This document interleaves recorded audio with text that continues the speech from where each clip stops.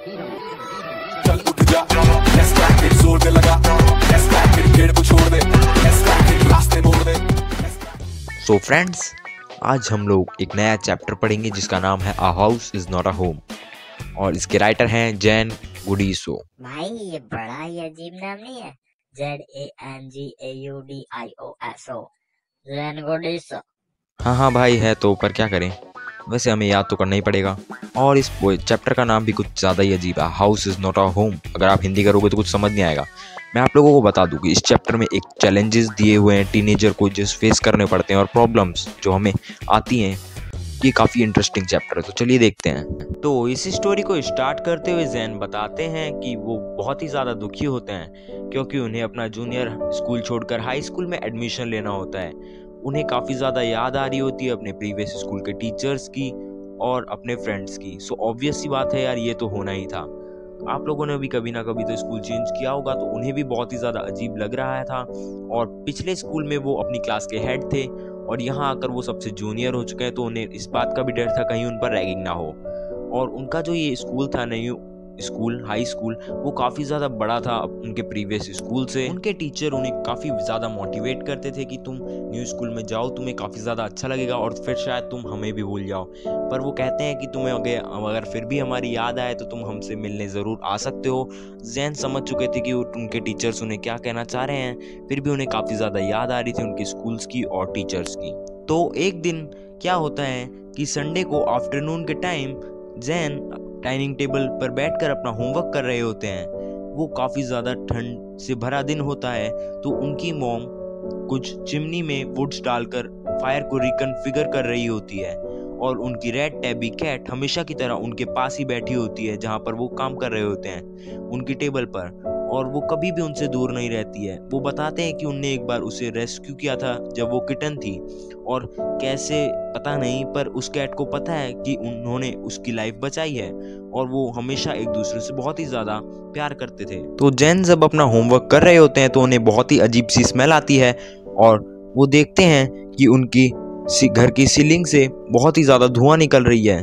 उससे पहले कि वो कुछ समझ पाते वो लोग बाहर भागने की कोशिश करते हैं, क्योंकि एक मिनट के अंदर अंदर पूरे घर में धुआँ ही धुआँ हो जाता है और दिखना भी मुश्किल हो जाता है। जैन और उसकी मोम कैसे ना कैसे करके घर से बाहर निकलते हैं और फ्रंट यार्ड में आकर खड़े हो जाते हैं, कि तभी जैन दौड़कर अपने नेबर के घर जाता है फायर डिपार्टमेंट को कॉल करने के लिए कि तभी वो देखते हैं कि उनकी मोम दौड़ती हुई वापस से घर के अंदर जा रही है और वो मना करना चाहते हैं, पर वो जानते हैं उनकी मोम क्या लेने जा रही थी।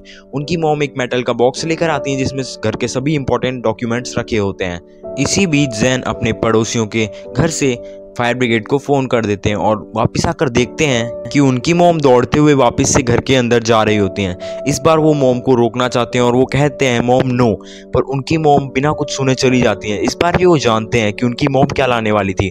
उनकी मोम उसके फादर मर चुके थे, सो उसकी लेटर्स और इमेजेस को नहीं खोना चाहती थी और उनकी मेमोरीज को रखना चाहती थी। इस बार जैन अपनी मोम के पीछे दौड़ने की कोशिश करते हैं और देखते हैं कि एक बड़ा हाथ उन्हें रोक लेता है और देखते हैं अपने आसपास कि वहाँ पर फायर ब्रिगेड की पूरी टीम आ चुकी है और एक फायर ब्रिगेड का आदमी उन्हें रोके खड़ा है। वो कैसे भी करके उससे छूटना चाहते थे और चाहते थे कि वो दौड़कर अपनी मॉम के पास जाएँ। वो उसे पर चिल्लाता है और कहता है कि तुम जानते हो क्या वहाँ मेरी मोम अंदर है? वो मुसीबत में मुझे जाना होगा। पर फायर डिपार्टमेंट वाले जानते थे कि यह बच्चा है और अगर इसे हम छोड़ेंगे तो ये वापस दौड़कर अंदर चला जाएगा।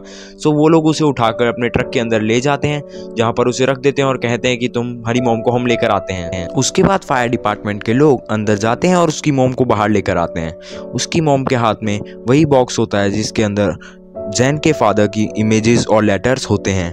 जैन की मोम को डिजीनेस सा फील हो रहा होता है क्योंकि उन्होंने घर के अंदर काफ़ी ज़्यादा स्मोक इनहेल कर ली होती है। सो सभी फायर डिपार्टमेंट के लोग उन्हें उठाकर ट्रक में ले जाते हैं और ऑक्सीजन मास्क पहनाते हैं। उसके बाद जैन अपनी मोम को हक करते हैं और कहते हैं, मोम, आपको अंदर जाने की क्या ज़रूरत थी? मैं पता है कितना डर गया था। सो फाइनली पाँच घंटे तक केमिकल और वाटर छिड़कने के बाद वहाँ पर उनके घर की आग बुझ जाती है। आग बुझने के बाद जैन को याद आता है, अरे मेरी कैट कहाँ है? वो तो मेरे साथ ही टेबल पर थी। फिर वो उसे आसपास काफ़ी जगह पर ढूंढते हैं आस पड़ोस में पूछते हैं, ढूंढते हैं, पर उन्हें वो, उनकी कैट कहीं भी नहीं मिलती है। फिर जैसे ही वो घर के अंदर जाने लगते हैं, अपनी कैट को ढूँढने के लिए तो फायर डिपार्टमेंट के एक आदमी उन्हें रोक देता है और कहता है कि अभी तुम अंदर नहीं जा सकते। अभी अभी हमने आग बुझाई है और यहाँ पर काफ़ी केमिकल्स होंगे और ना जाने कौन सा पिलर कब गिर पड़े। सो तुम अभी नहीं जा सकते। जैन और उसकी मॉम के पास कोई और ऑप्शन नहीं था। सो वो लोग अपने ग्रैंड पेरेंट्स के घर जाते हैं उस नाइट स्टे करने के लिए। अगले दिन मंडे होता है एज यूजल जैन को स्कूल जाना होता है। जैन अपनी मोम से रिक्वेस्ट करते हैं कि वह आज स्कूल ना जाएँ तो क्या होगा? उनकी मोम उन्हें फोर्स करती हैं कि तुम्हें स्कूल जाना है।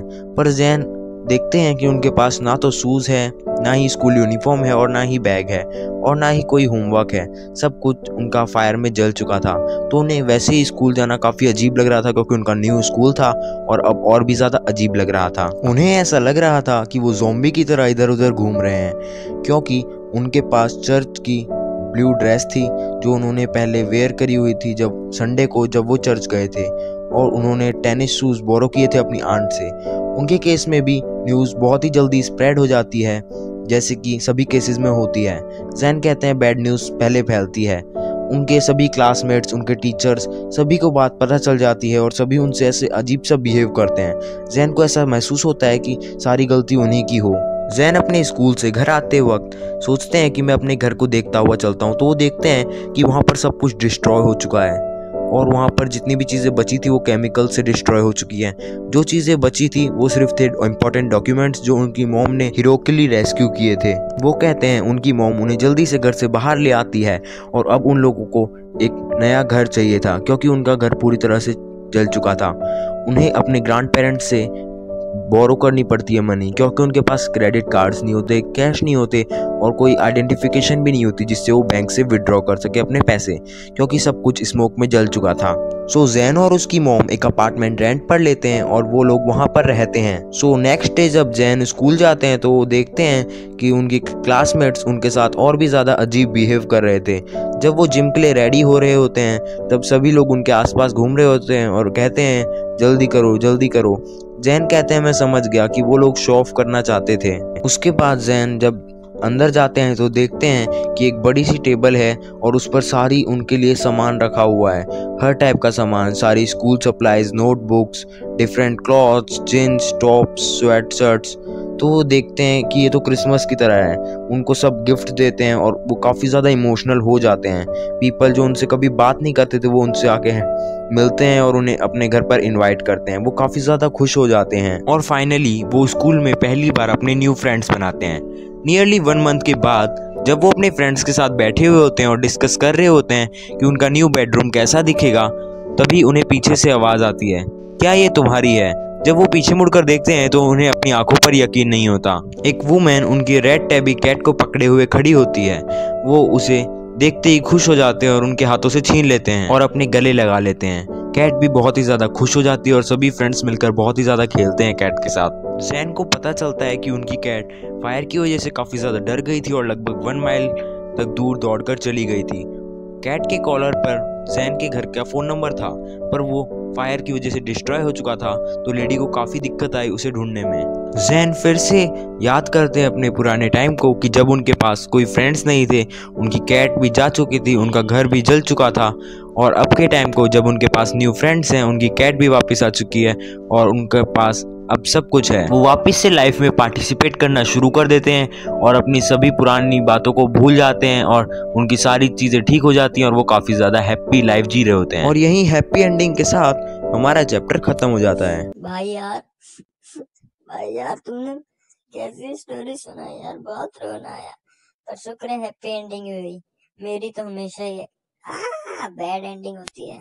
आई होप गाइज़ आप लोगों को वीडियो पसंद आई होगी। वीडियो पसंद आई हो तो लाइक कर देना शेयर कर देना और चैनल को सब्सक्राइब कर देना। मिलते हैं नेक्स्ट वीडियो में। Bye bye